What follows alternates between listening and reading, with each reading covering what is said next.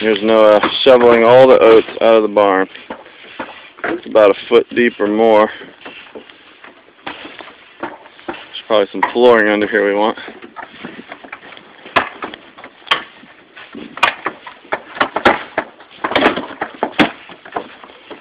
Here's the window cleaners. Good win- uh, yeah, see, good window cleaning. Trustworthy, dependable, expensive, very expensive.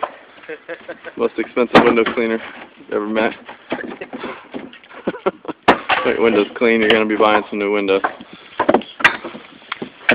They'd save it if it wasn't painted. But because it's painted, it's not really worth it. Yeah, I save that.